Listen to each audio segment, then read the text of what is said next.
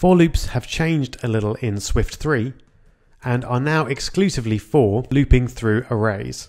And they're actually much better at doing that than while loops. Let me show you how they work. So let's have a simple array. And again, I'll just choose some random numbers.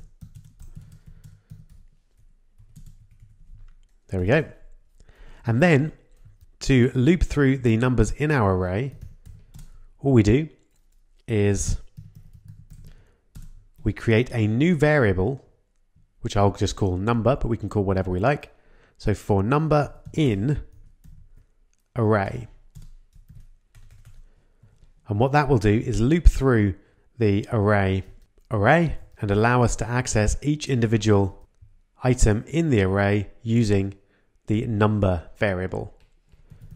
So we might want to, for example, print number.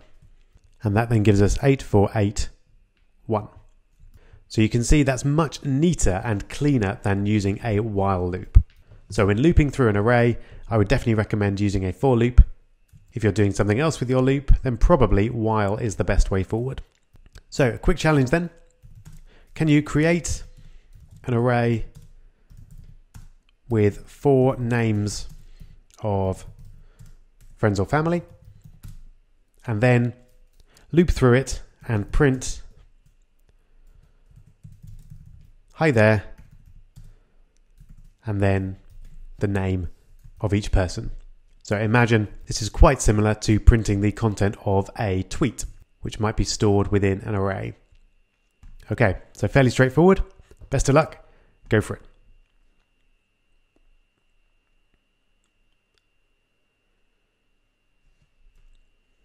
Okay, you manage it? So let's start by creating our array. So I'll call it family members. And we're going to have Rob,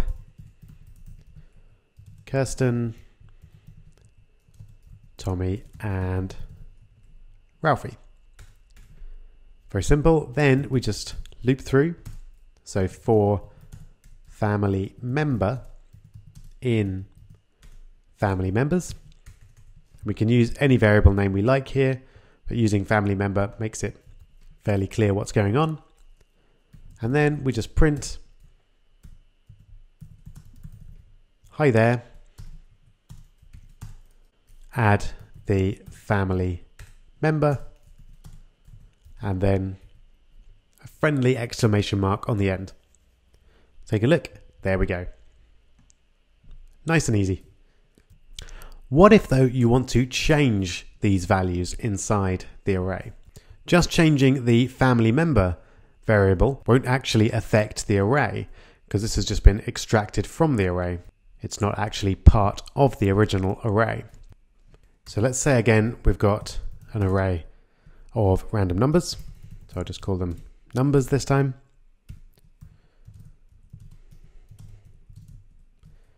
There we go. And as before, let's say we want to add one to each of those numbers. This time we need to use a slightly more complicated for loop. And this time we use index comma value. So we're looking for two variables this time, not just one, which was effectively the value. This time we're looking for the index, so that's 0, 1, 2, 3, 4, and the value. And this time we want to take the array, so numbers, and make it enumerated, which is essentially spread it out into its components. And now we can use each of these, so index or value, to get either the location of each item or the value itself. So if we want to add one to each of the values, we can do that using numbers and then index plus equals 1. And then Let's just check by printing the numbers array again at the end. And of course, it's always good to get into the habit of using let rather than var, but it can let you down if you then decide you want to change the variable or the array later on. And there you go, you can see everything's one bigger now than it was before. Okay, so final challenge then. I'd like you to create a simple array containing the numbers 8, 7, 19 and 28 and then halve each of the values using a for loop. And there's a little sting in the tail here, so give it a go and you see if you can spot what makes this challenge a little trickier than it might appear. Good luck.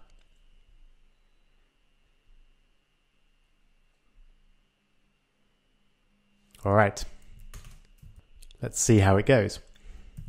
So this, I'm going to remember to use var rather than let because I know this is going to change.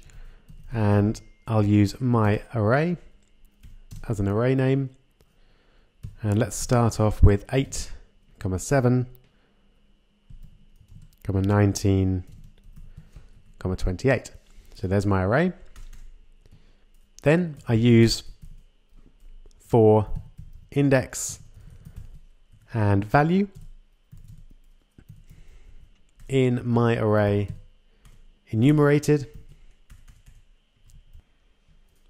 and now I'm going to get my array index and set it equal to value divided by 2. So here I could use my array index again, but it's the same thing as value but I need to use my array index here because I want to update the original value in the array, not just the temporary value variable that we've created here. Okay, so you might think that's all pretty good, but let's have a look at the result.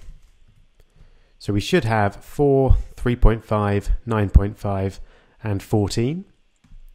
Let's take a look. Aha, but instead we get 4, 3, 9 and 14. So these two are wrong. So why is that? Well, it's because these were defined as integers. So when we halve them, they're still integers, so it rounds down to the nearest whole number. So there's a few ways around that.